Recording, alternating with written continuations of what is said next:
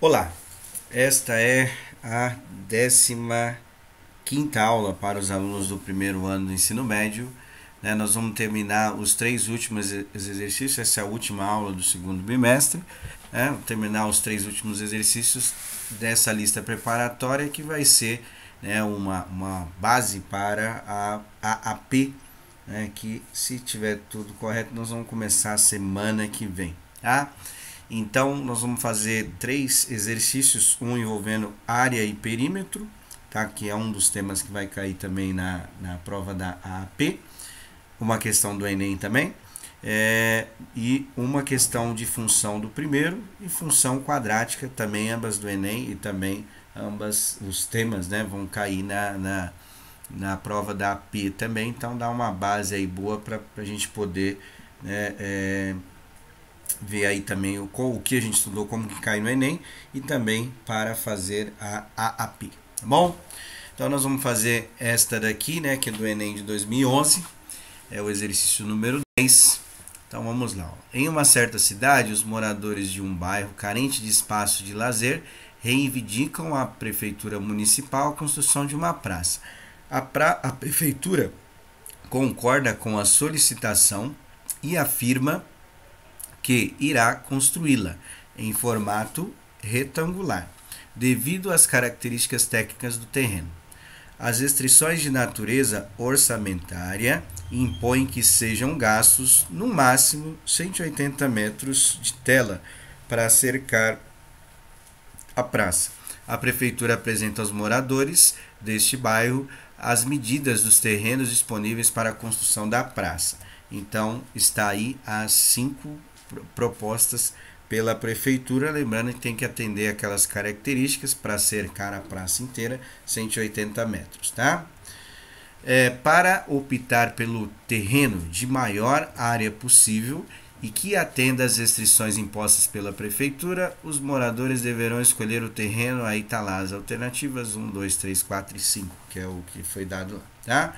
Bom, eu fiz aqui mais ou menos um esqueminha, coloquei lá as, as medidas dos terrenos para a gente poder relacionar essas ideias. Então, o que, que é o que é chamado de perímetro em matemática? O perímetro é o que ele falou aí né, no exercício, que é a tela que vai ser colocada em volta deste, deste, deste terreno, no caso representando a praça. Né? Coloquei x e y, porque são duas medidas que nós não sabemos. Embaixo lá está a fórmula da área, né? É, B vezes H, ou seja, base vezes altura, que nós fizemos alguns temas anteriores, né? Então, o que, que acontece ali? Nós vamos ver qual é, terreno que atende primeiro esse primeiro critério, que é o que? O perímetro, ou seja, a soma dos quatro lados tem que dar 180 graus, certo? Para ficar mais fácil, nós vamos fazer o seguinte, nós vamos é, é, calcular o que, o que a gente chama de semiperímetro. O que, que seria semiperímetro? Seria a, a medida da metade desse perímetro, ou seja, x e y que está aí, né? Como é metade, uh, uh, o contorno completo da praça 180, gra 180 metros, né? Metade disso aí vai dar 90. Então nós vamos ver as medidas somadas que dão, né? Que no caso seria a exposição do xy, né? É, somadas que dão metade do perímetro, semi-perímetro, ou seja, 90 metros, tá?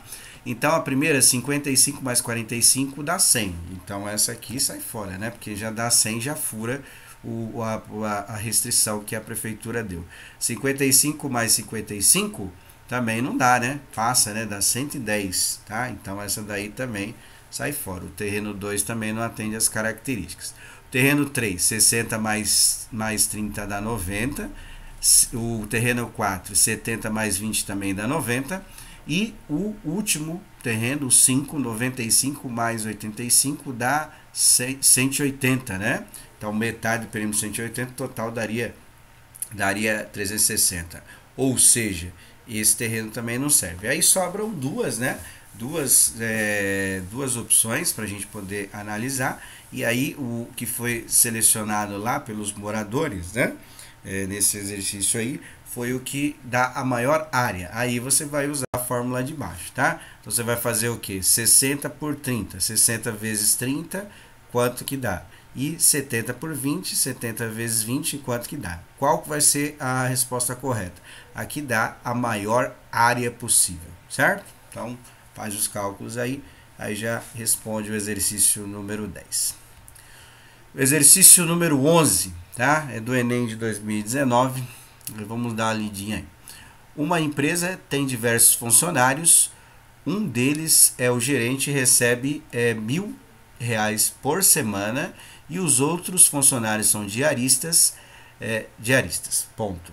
Cada um deles trabalha dois dias por semana, recebendo 80 reais por dia trabalhado, certo? Então o gerente recebe mais.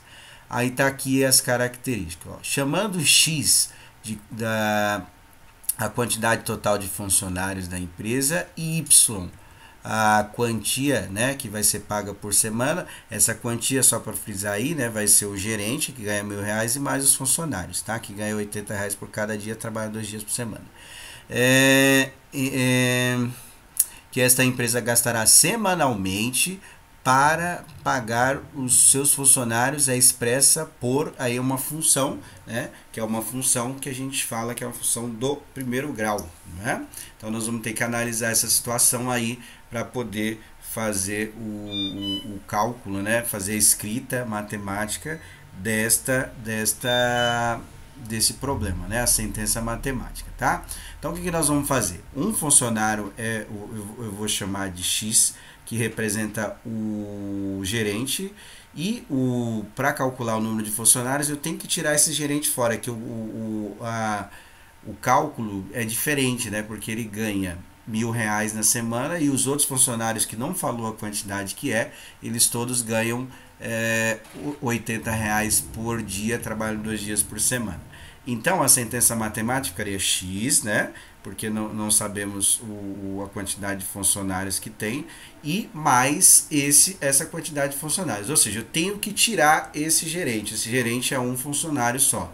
Então, a sentença ficaria mais ou menos assim. Ó. Esse x vai representar o gerente e esse x menos 1 vai representar a quantidade de funcionários sem o gerente, porque eu tenho que tirar dessa quantidade de funcionários um funcionário que é o gerente, tá?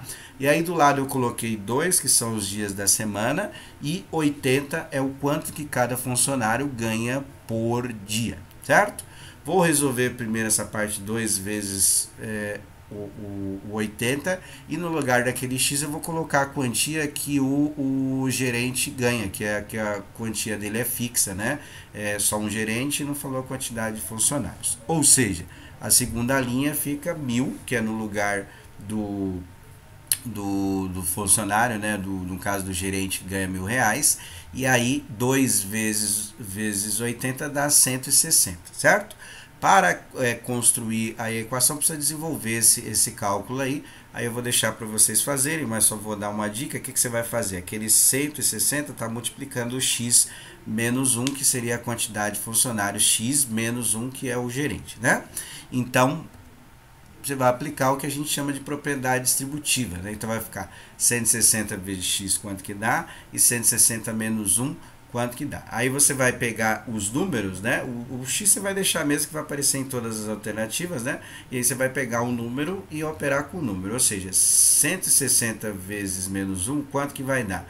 E aí esse número você vai operar com 100, né? Que é a quantidade aí que tem para o, o, o salário do gerente, certo? termina aí, marca alternativa. Esse aí é o que é chamado de função de primeiro grau ou do primeiro grau, tanto faz, tá? O último exercício, né? É o exercício número 12. Ele tem a ver com a função é, quadrática ou função do segundo grau. É um pouquinho mais difícil, mas vamos lá, tá? Enem 2016, um túnel deve ser lacrado com uma tampa de concreto. A secção transversal do túnel e a tampa de concreto têm contornos em um arco, para, é, um arco de parábola, ou seja, ele é uma função que descreve uma curva que a gente chama de parábola e a gente viu que é uma função do segundo grau com um monte de exercícios que a gente fez, tá?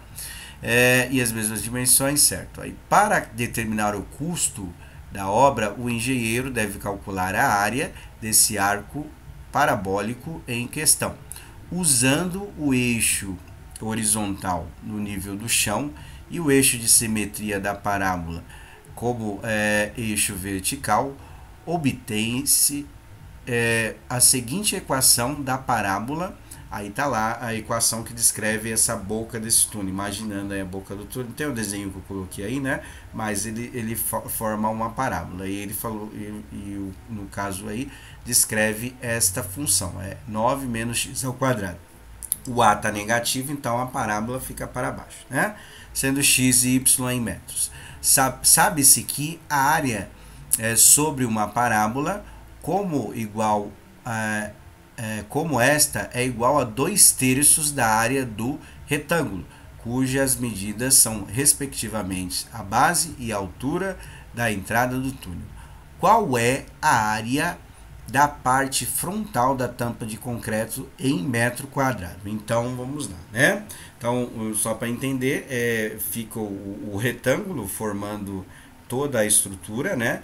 E é feito um corte numa forma de parábola para poder é, fazer essa tampa aí, tá?